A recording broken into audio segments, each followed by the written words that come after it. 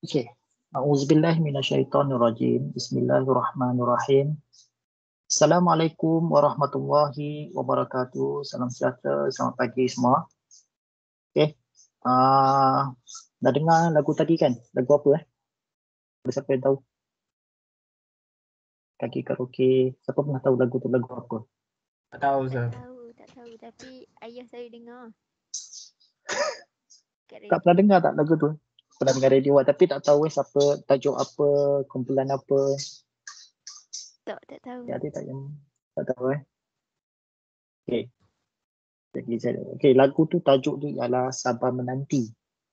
Ha, sabar Menanti, tunggu awak masuk dalam kelas ni. Okay, Sabar Menanti. Tapi tak kira, tapi tak lama sangat. Sabar Menanti uh, dinyanyikan oleh kumpulan Fahrenheit. Okay. Um, apa kaitan dia dengan topik pagi ni? Okay memang kumpulan tu tak ada apa-apa kaitan pun dengan topik dia tapi saya nak ambil uh, nama kumpulan Fahrenheit tu yang kita akan belajar pada hari ini ya. Okay. Okay, untuk hari ini saya akan masuk pada topik yang keenam iaitu temperature and heat. Oh, untuk topik yang kelima, yang tu awak akan belajar sendiri menerusi uh, platform MOOC. Lah. Okay, saya semua dah daftar. Dah start dah. Okay, saya tak uh, ikutkan saya tak akan sentuh apa langsung dalam bab 5 tu. Okay, uh, kita bantu sikit-sikit lah. Okay, maknanya awak pembelajaran secara kendiri menggunakan platform sampai habis sampai di end of topic sampai part 5 tu awak akan belajar sendiri sampai awak akan dapat CJ. Begitu okay, kita cerita kemudian lain eh. Okay, uh, back untuk kita hari ini kita akan masuk uh, temperature heat. Share screen. Saya buka page 190. Temperature and heat 190. okay, this is a summary of the chapter. With two subtopic, the concept temperature and heat. Okay, we discussed uh, about the definition of temperature, heat, and its unit, the process of heat transfer. Okay, we, we cover 6.1.1 and 6.1.2. Okay, okay. Okay, and heat capacity, spatial heat capacity, latent heat, and its units. Okay, the another subtopic is concept of heat energy. Okay, hmm, ada five sub subtopic lah. Okay, okay, we will discuss later. Okay, look at the conceptual map, heat and temperature. Temperature is the suhu, heat is haba. Temperature, suhu dan juga haba. Okay, two different things. Okay, um, we also discuss about the special heat capacity. Kalau dalam sekolah kita panggil uh, muatan haba tentu. Special heat capacity. Heat capacity muatan haba. And latent heat is uh, haba pendam. Haba pendam. And then we will discuss about the process of heat transfer. We have a three method, which is a convection. Or kita panggil uh, convection is apa? Perolakan. We call perolakan. Conduction uh, ataupun pengaliran. Uh, radiation. Also we call uh, radiasi or sinaran. Then we have uh, thermal equilibrium ataupun keseimbangan terma. When we also have uh, some uh, formula to solve the problem about the heat and transport, heat and uh, temperature. Okay, kalau untuk heat energy for one substance, kita gunakan formula Q equal to MC delta theta. Okay, M tu mass lah. Okay, C tu kita tengok nanti. Then we have a heat energy between two substance. Okay, uh, dari formula Q gain and Q loss. Okay, heat ganti. Kita masuk.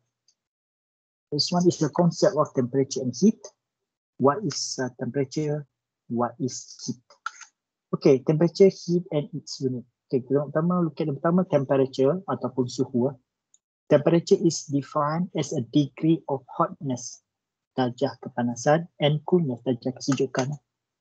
Okay, diistilahkan sebagai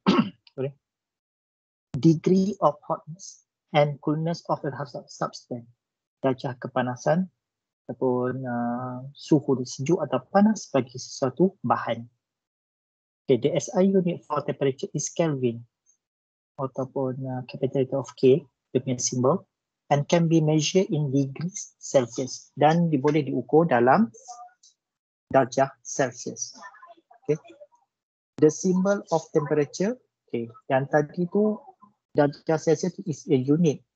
Okay, yang awak boleh tulis. In case kalau jawab soalan ada apa nilai value and its unit.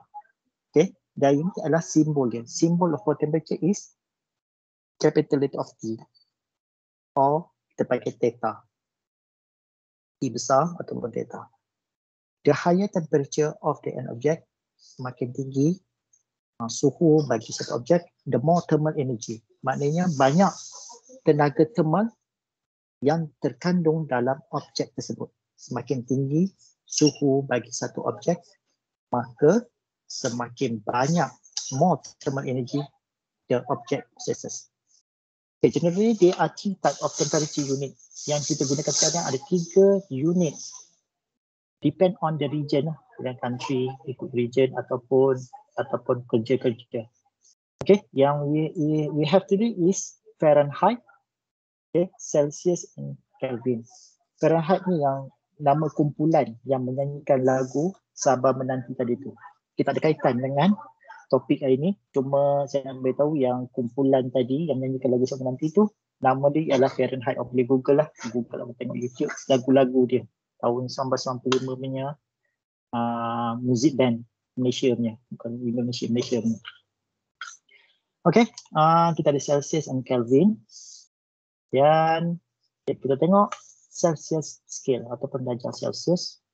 The most commonly used scale for measuring is a Celsius system. Maknanya yang banyakkan negara-negara yang menggunakan SI, sistem international macam Malaysia ke banyak negara lah yang menggunakan macam kilometer bukan miles, ha, dia akan gunakan darjah Celsius Malaysia untuk pengukuran suhu.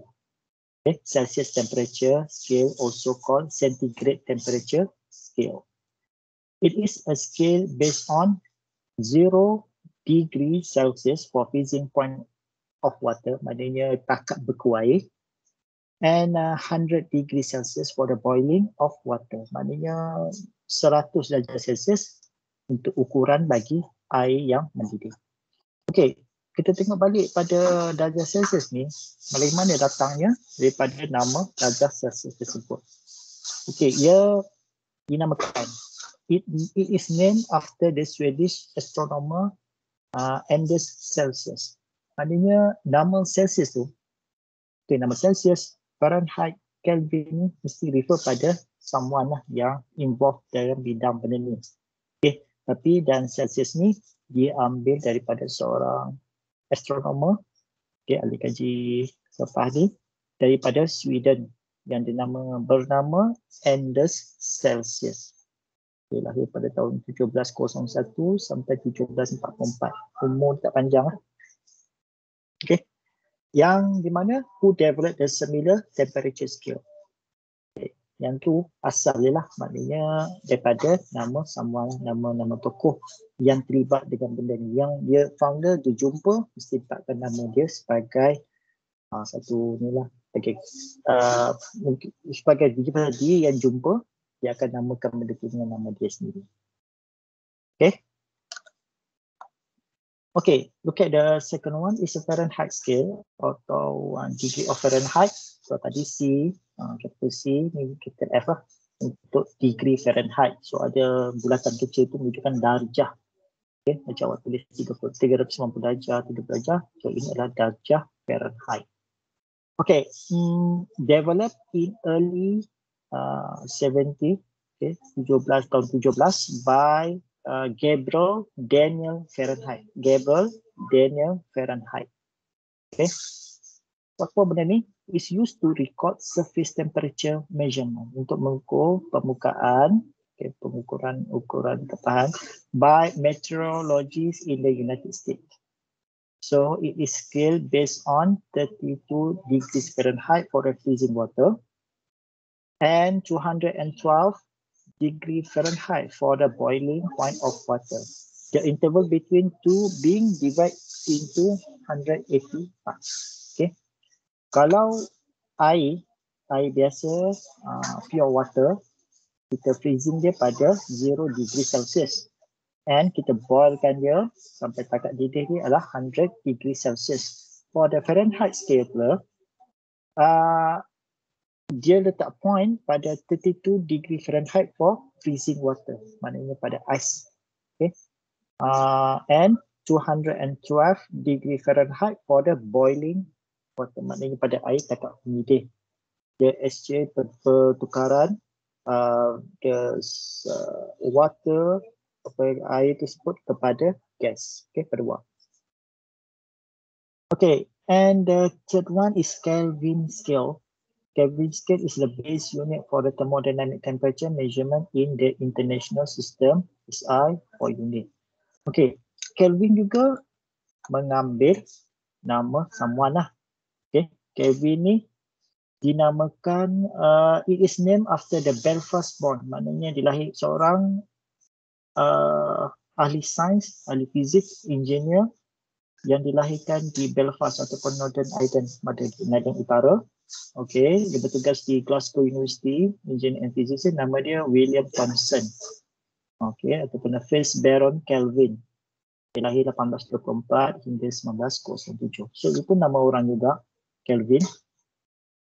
Tapi Kelvin kita uh, jangan gunakan lah untuk pengukuran. Katakan uh, berapakah suhu di Matampau, kita ya, refer kepada darjah Celsius tapi tak refer kepada Kelvin. Okay.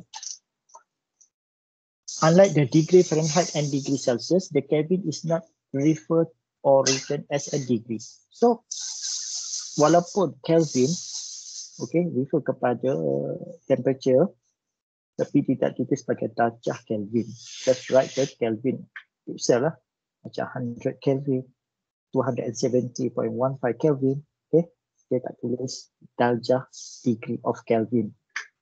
Okay. It is as a 1 over 273.16 of the triple point equilibrium among the solid, liquid and gaseous phase of the pure water. Okay, dia bagi namanya dia takat macam ni. The Kelvin scale is related to Celsius scale. Maknanya Kelvin scale ni related sama. Okay, cuma starting point of the freezing point of water and the boiling water tu berbeza dia punya nilai dia, value dia. Tapi dia punya setara.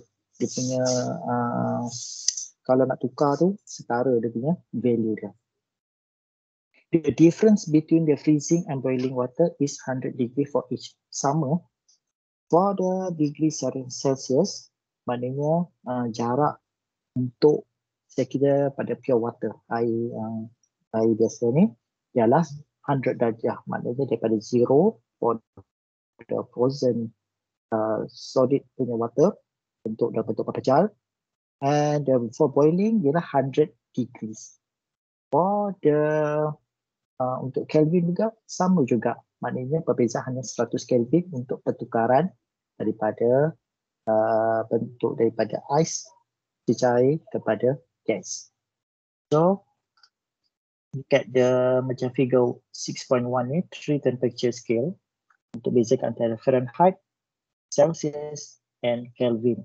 Three temperature scale used to compare the freezing and boiling point of water. So kau tengok kat sini, okay, yang look at the last kali adalah Fahrenheit lah yang sebelah kiri, yang tengah adalah Celsius, yang, yang pertama yang sebelah kanan sekali adalah Kelvin. So kalau awak tengok the tengoklah pada atas sekali for water balls pada mana ketika air telah dimasak okay, sampai mendidih dan fasa pertukaran air dicair kepada gas. Kalau pada Kelvin, it record that as 370 Kelvin.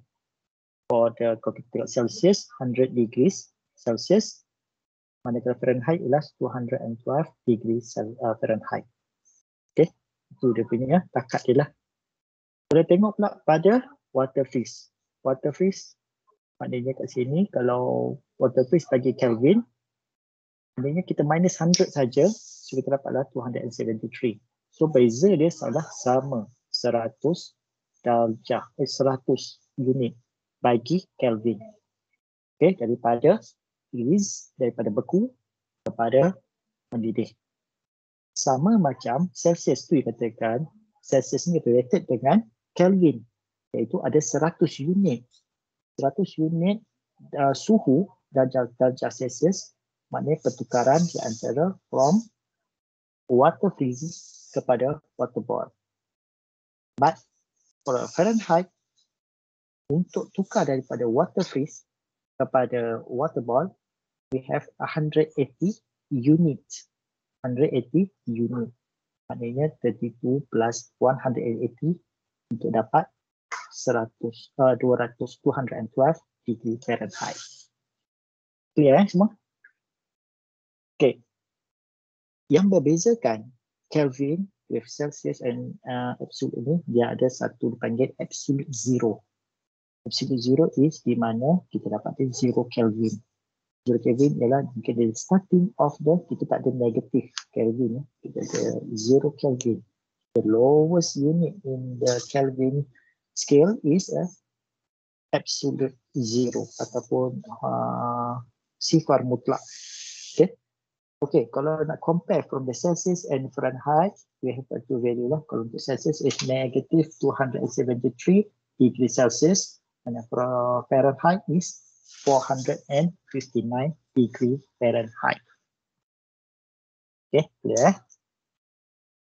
Okay, faham lah. Okay, sekarang ni, how to, kalau kita, kita nak convert from degree Fahrenheit to degree Celsius, degree Celsius to degree Fahrenheit, degree Celsius to Kelvin, Kelvin to degree Celsius. So tak ada lagi satu lagi uh, Kelvin to Fahrenheit, Kelvin uh, Fahrenheit to Kelvin.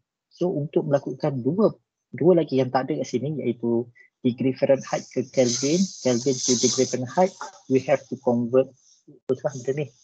Tukar pada Fahrenheit pada Celsius dulu, Celsius baru tukar pada Kelvin.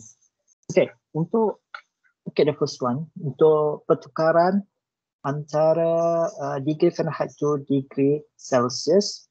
Okay, this is the formula. Okay, you have to remember. Degree Celsius, okay, equal to uh, 5 over 9 degree Fahrenheit minus 32. So, buat kita macam ni dulu lah. So, kita ada example kat bawah tu. Nanti kita tengok macam mana. Untuk degree Celsius to degree Fahrenheit, okay, formula dia ialah 9 over 5 degree Celsius times degree Celsius plus 32 degree. Okay, degree apa? Degree saja ya. Okay. Degree saja lah mencampur tu. For untuk Kelvin lah, degree Celsius to Kelvin. Okay, just uh, plus 273.15 to uh, nilai yang sedia ada for the Celsius. So untuk Kelvin to Celsius pula kita minuskan dia 273.15. Okay, uh, maksudnya apa TC? TC ialah temperature in degree Celsius, TF temperature in degree Fahrenheit, while the TK is temperature in Kelvin. Okay, look at the work example one. Convert the following unit of temperature. Okay, so tengok sini. Yang boleh tukar uh, from Kelvin or Kelvin to mana ni ialah Celsius sahaja. Okay, Celsius sahaja yang boleh tukarkan daripada Kelvin to uh, uh, Kelvin to Celsius and Celsius to Kelvin. Okay. Kalau Kelvin boleh tukar. Tapi kalau nak tukar pada Kelvin to Fahrenheit, we have to convert to uh, Fahrenheit to Celsius first before kita tukar pada Kelvin. Okay. Okay. Uh, so kita boleh gunakan straight formula lah yang ni. TK okay, or equal to TC plus 273.15. So ambil 150 plus 273.15. So plus dia biasa je dapatlah 400 uh, 20, uh, 23.15 Kelvin. Okay, jangan lupa ya yang ni kalau harus ada kita bagi setengah markah. Okay, untuk for the unit. Okay. K jangan huruf kecil-kecil. K kecil makna lain. K besar Kelvin. Okay, tak terbeza. Okay, therefore the B 350.75 Kelvin to Celsius. So, ini ada lagi lah Kelvin to Celsius, tak ada masalah.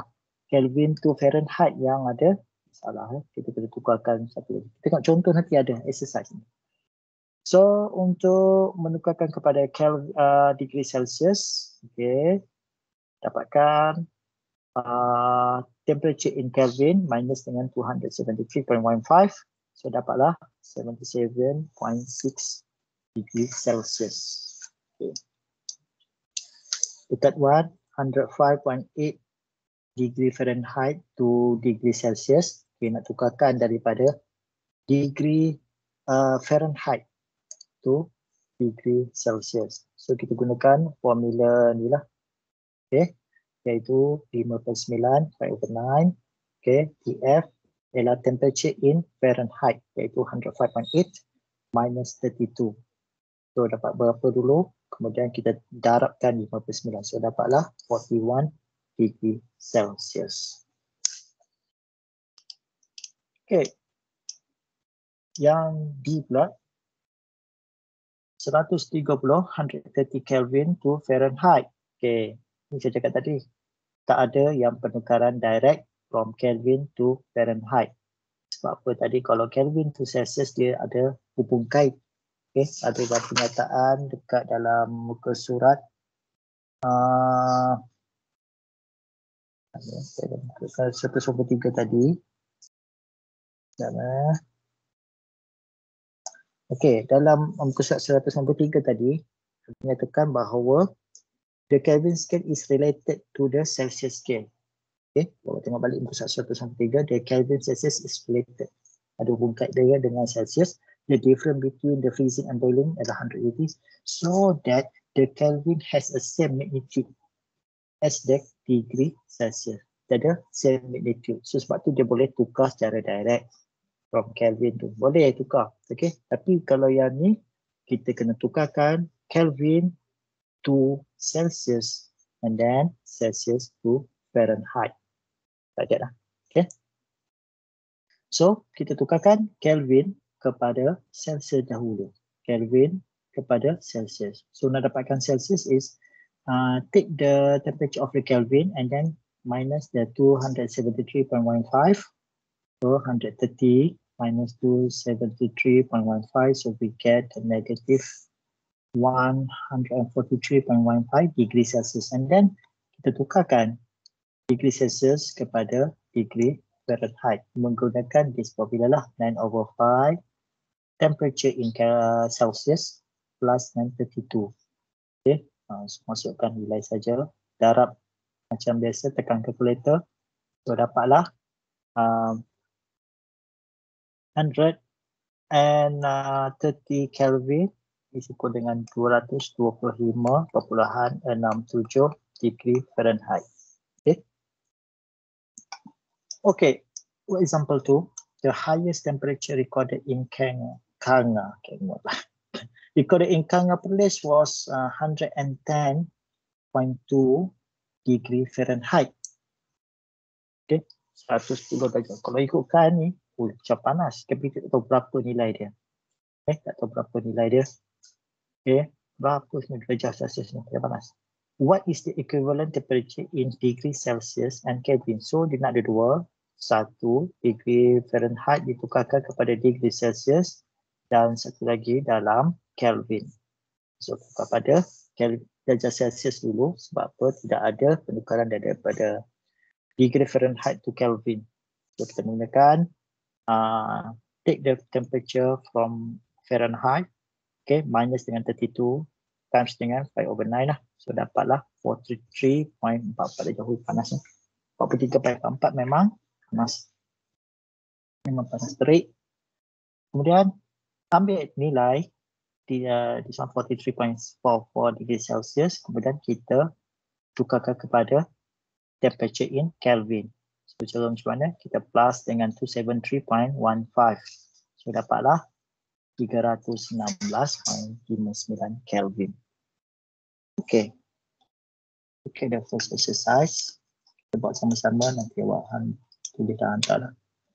Okay, three temperature scale that are commonly used are Fahrenheit, Celsius and Kelvin. Convert the following unit to the temperature. Okay, someone Tolong onkan mic. Tolong ajar saya cara nak settlekan how to solve this problem. TK sama dengan Okay. TC kita Lagi. 200 darjah Celsius Okay. tambah 273.15. Okay, 200 tambah 273.15. Dapat berapa ni? Berapa? 4? 23.15. Plus. Okay, terima kasih. K. Okay. Kena letak K. Oh, sus- oh, oh, lupa. Terima kasih. Correct. Okay, good. Second one. Okay. Fahrenheit to Kelvin. Siapa boleh bantu? First Cari tu, apa dulu ni? uh, nak, kita kena cari Celsius dulu. Celsius dulu. So, buat apa ni? TC, Dia apa? TC Hmm. equal to Okay. over 9. 5 over 9. Ah, lepas tu Okay. T, dalam kurungan TF tolak 32. Okay, masukkan nilai 5 over 9. TF ialah 80 tolak 32. Saya dapat berapa? Boleh tak? 26.66 Apa benda ni unit dia? Celsius. Unit dia apa? Darjah Celsius. Okay, then last kali betul? Lepas tu Ini pakai baru darjah Celsius. K pula. TK equal to TC. Hmm. Tambah Apa? 2 Tambah tolak. tambah 273.15. Okay, TC kita ialah 26.66 plus 233.15. So kita dapat berapa? Sama tak? Sama-sama. 299 299. 82K. apa ni Kelvin eh. Okay. Yang C pula. Sekali lagi siapa nak bantu? Ke- Kelvin to Fahrenheit memang tak ada lagi kita formula ni so kena tukarkan Kelvin kepada Celsius dahulu kemudian patut dengan Fahrenheit. Okey cepat siapa nak bantu? Hmm, cepat siapa-siapa ni? On Tukarkan pada Celsius. Okey tukar pada Celsius macam mana formula dia? TC Asu TK tolak 273.15. Hmm terima. So masukkan TK ialah temperature in Kelvin 120 minus 273.15. So dapat apa ni? So dapat negatif 153.15. Apa benda ni? Unit, unit. Ini unit unitnya Celsius. Ya, yeah, Celsius. Kemudian, seterusnya. Lepas tu convert pada Fahrenheit. C to F. Okay. TF. TF sama dengan 9 over 5 TC tambah 32 TC tambah 32. Tambah 32 macam ni ke keluar? uh, Keluar Oh, dia tak ada, tak ada, tak ada ni lah, tak ada ni. Okay, isi tengok okay. So, 9 per 5 didarabkan dengan negatif 153.115 tambah dengan begitu. So, kita dapat berapa? Sama ke dengan jawapan?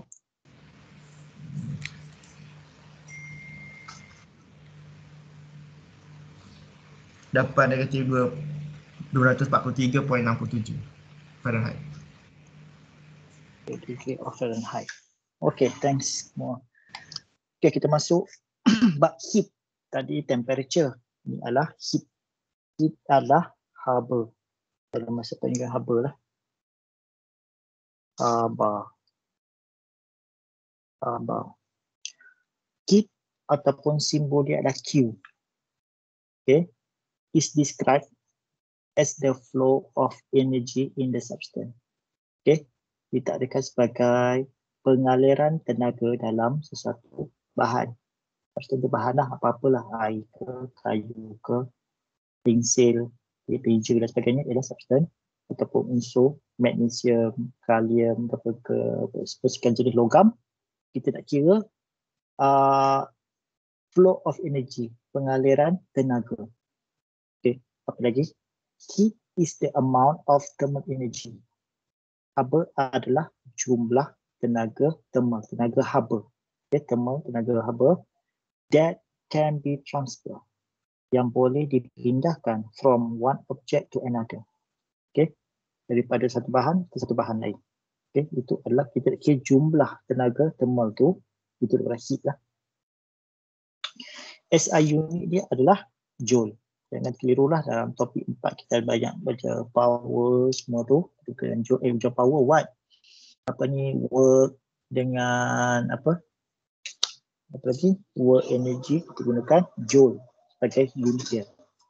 Heat flow naturally from object at a higher temperature to one at the lower temperature. Pengaliran haba ni biasanya secara naturalnya dia berpindah daripada objek yang mempunyai higher temperature suhu yang tinggi kepada yang lebih rendah.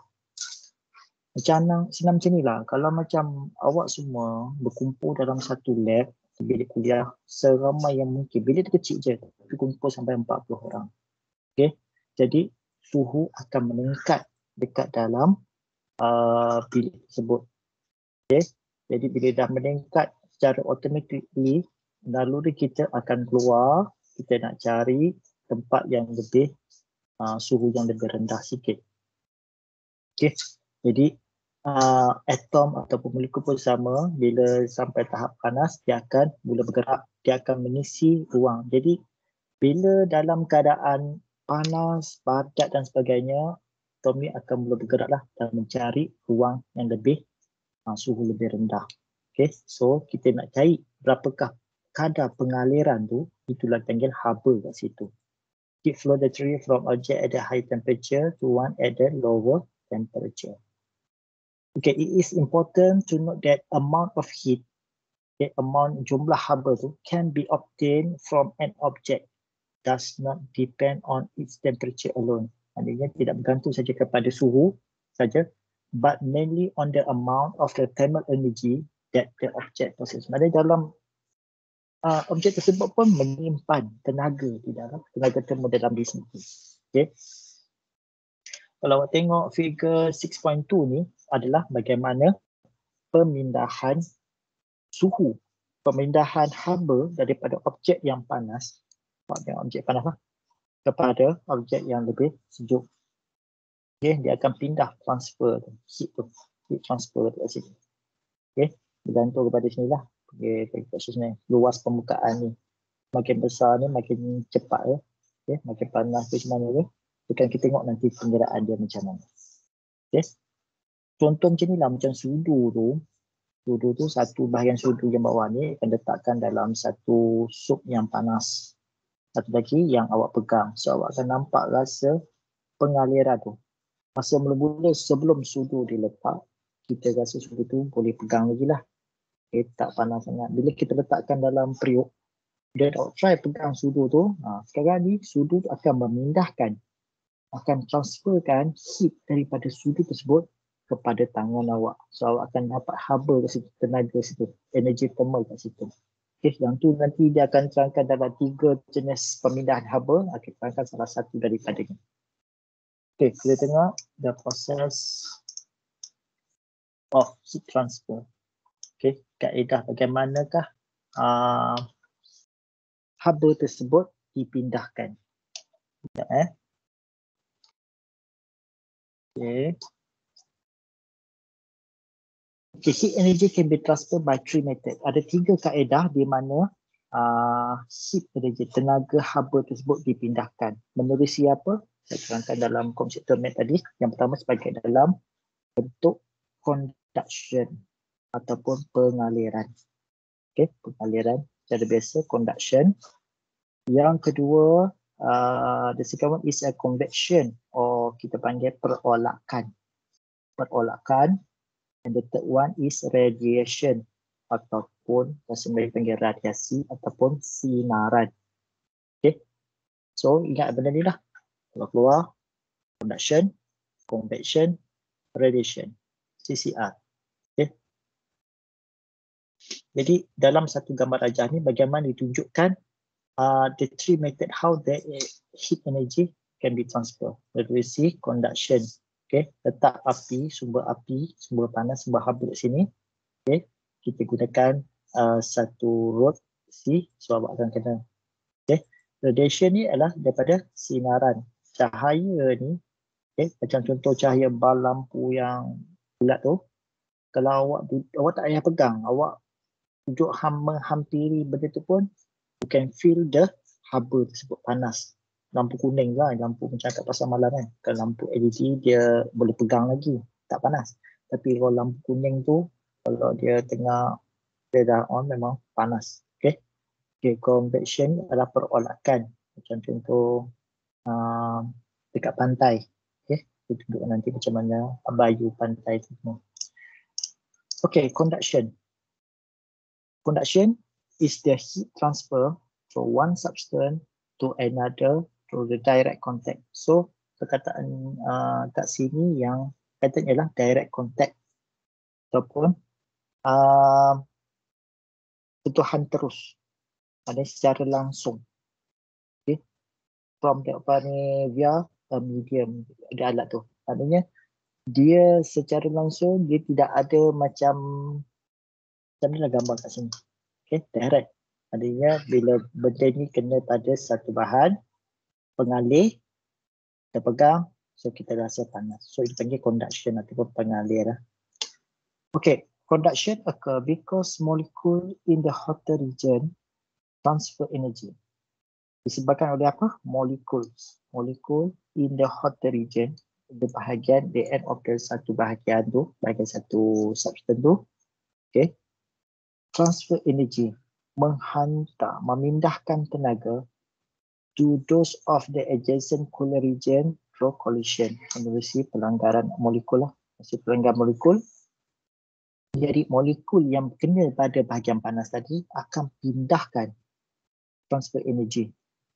Okay, transfer energy memindahkan haba sebab kita rasa panas. Sudu tu letak aja sekejap dekat dalam hot soup apa ke, kita rasa panas. Mana kita pindahkan pada bahagian dasar sudu tadi menerusi uh, bahan metal dalam apa ni sudu tadi, nah, kita rasa kepanasan dia lah. Okay, heat transfer in the solid material dalam bentuk bahan pepejal lah, heat transfer ni. Okay, most metal. Hampir ke semua jenis logam adalah good conductors, pengalih yang baik. Okay, why?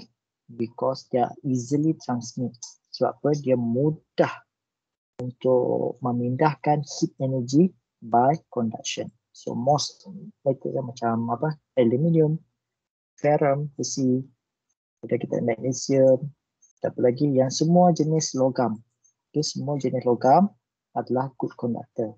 Okay, uh, apa benda yang, yang kita buat wiring tu? Cuprum, okay, tembaga, okay, uh, emas merupakan pengalih yang terbaik sekali.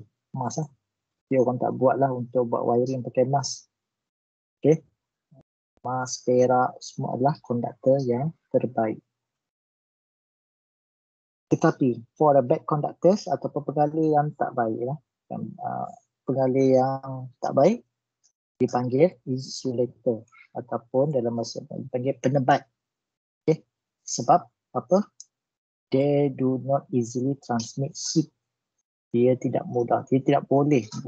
Ada memang tak boleh ataupun down tak tak semudahnya untuk memindahkan by conduction. Contoh dia apa?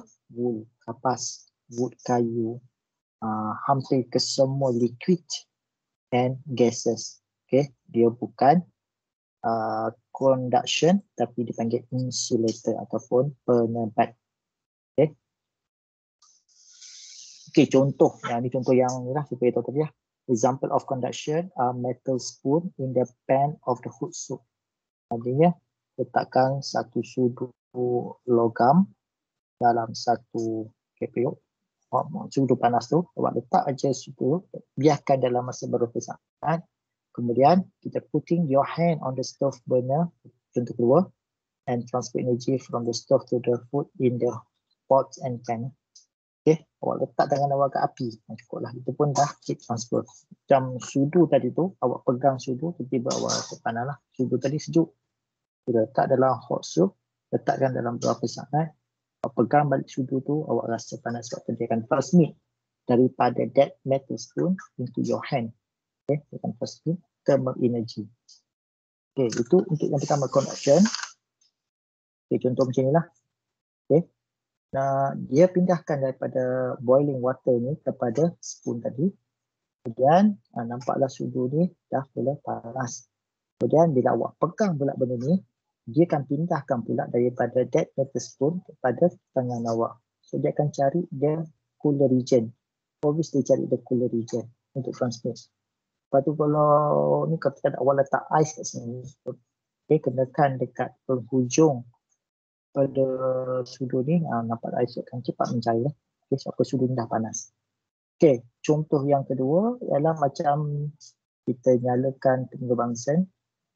Kemudian kita pakai pegang rod besi dan kita rasalah kepanasan. Nampak dia punya transfer. Kita pakai sekejap aja. Sebab apa? The metal itu punya ni adalah uh, pengalih yang terbaik. Maknanya cepat memindahkan haba yang nak tahu pengalir baik tak baik ni uh, haba ni awak belajar dalam unit 5 awak nampaklah benda ni. Okay okay convection. Perolakan. Apa maksud convection? Convection is the up and down movement of particle within fluid. Maknanya pergerakan partikel secara atas bawah di antara fluid. Benda yang mengalirlah cair tu okay, liquid and gases. Okay, liquid gases from hot area to the cold area causes by transfer of heat energy. Okay, partikel tu sendiri akan bergerakkan partikel dalam liquid and gases yang bergerak. Dia pun sama. Okay, tak sama, dia macam uh, dalam conduction molekul of the metal kan. Sekarang ni kalau dalam uh, convection ni refer kepada liquid and gases. So dia pada partikel bila kena satu haba, dia akan mula bergerak. So dia akan bergerak, dia akan cari cool area. Okay, dia akan bergerak lah. Dia akan pindah daripada hot area to cool area. Itu juga normal lah. Macam kita tadi lah, kita duduk rapat-rapat dalam tu bilik. Bila kita matikan aircon, semua masing-masing dah panas, dia akan keluar daripada bilik tersebut. So cari tempat yang lebih sejuk. Okay, convection occur when a fluid. Okay, fluid ni apa dia? Fluid and gases become less dense and they rise when it heated. Maknanya dia dah kurang dia punya dense dia dan dia akan bila dipanaskan dia akan lebih movement dia akan lebih mudah gerak. Okay, sama macam ni lah daripada air tadi when you boil dia 100 to 100 degree Celsius dia akan bertukar menjadi bentuk wap dan wap tu akan terbang secara lawak lah kan. The space is quickly, uh, quickly replaced by cooler particles that are denser because they are heavier. Okay.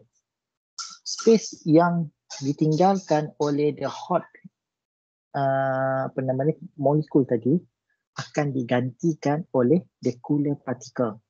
Apa dia lebih tumpat, denser lebih tumpat kerana apa? They are heavier. Okay. Macam ni lah contoh macam aircon ni. Kita pasang ke atas, Okay, kita pasang ke atas. Kita nak supaya udara sejuk. The cooler uh, air daripada aircon tu akan turun ke bawah. Kalau awak pasang aircon pada paras uh, katakan dua kaki from the lantai ni, okay, jadi dia akan sejukkan lantai ya. Sebab kita pasang aircon ke atas, sebab udara daripada aircon dah lebih berat daripada udara panas. Udara panas tak terbang. Itu sebab kita ada balon udara panas. Udara panas ni lebih ringan, lebih kurang tumpat daripada udara yang sekitarnya. So dia boleh menyebabkan dia ringan. Okay. Ha, itu convection lah. Boleh eh? Ha, itu sebab kenapa orang pasang aircon kata kenapa tak pasang kat bawah dan sebagainya. Jadi kita akan pasang satu lagi uh, exhaust fan kat atas. Kita sedut udara panas udara panas ni dia akan naik ke atas. Okay, udara aircon dia akan turun ke bawah sebab dia berat. Okay, dia punya Uh, G sini lagi berat daripada udara panas. Okay, the process continues until the heat source is removed. Maknanya some, benda ni akan berterusan sehinggalah the heat source is removed. Maknanya punca uh, kepanasan tersebut hilanglah. Uh, dia akan benda ni berolak macam tu. Example of convection or boiling of water. Uh, contoh tadi lah, convection boiling water, change in the weather, pertukaran cuaca, hot air balloon. Ha, macam hot balloon tadi kan, jadi kalau macam kita full, kita full, kita tinggal balloon dengan hot air, balloon tersebut akan okay, lift up, dia akan terbang ke atas. And warmer water in the surface of lake or swimming pool. Okay, maknanya air yang suam pada permukaan. Bawah sejuk, atas dia suam-suam. Okay, ini adalah bayu laut, sea breeze. Okay, air scene, okay, tengok macam mana wind blow from the kalau siang macam mana kalau malam macam mana. Okey ha, dia punya air. Okey. Kita saya sebut kat sini kot radiation. Kita sebut kat sini eh. Okay, radiation. Radiation is an energy transfer when electromagnetic wave travel through empty space okay radiation atau sinaran atau radiasi is a tenaga yang dipindahkan apabila uh, gelombang elektromagnetik melalui ruangan kosong. Okey, itu adalah tenaga yang dipindahkan apabila gelombang elektromagnetik okey, melalui satu ruangan empty space. Okey. When the electromagnetic wave come in contact with an object, apabila gelombang magnetik tersebut mengenai satu objek, the wave transfer heat to the object. Maknanya dia akan pindahkan sekali haba kepada objek terbabit.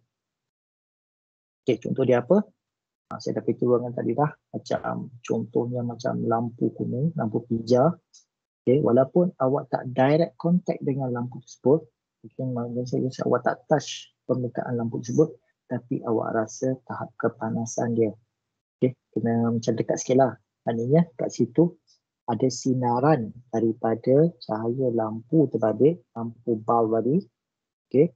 Hantar heat energy menerusi kena kat tangan awak dan awak akan rasa panas walaupun tidak menyentuh secara direct contact.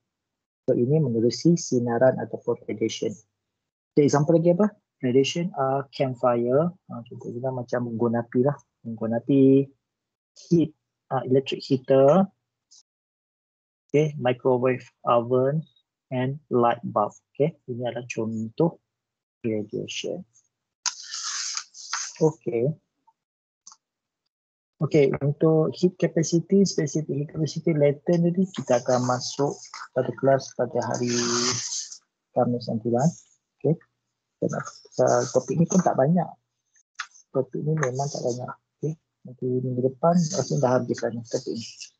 Okay, ada soalan apa-apa tak berkenaan tentang temperature and heat. Ada apa soalan?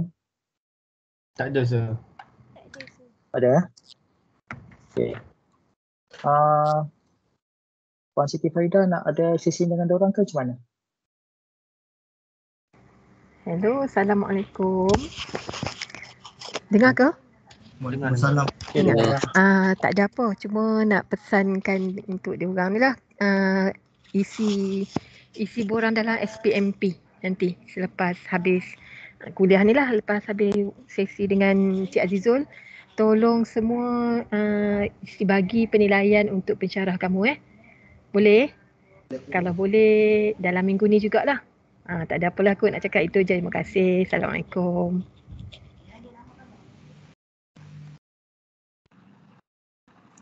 Okay, kalau tak ada apa-apa lagi, uh, seperti mana dipesankan oleh Puan Farida tadi, awak buka SPMP, uh, saya rasa awak dapat kod untuk pensyarah-pensyarah lain, penilaian pensyarah lain. So buat untuk sama untuk saya lah.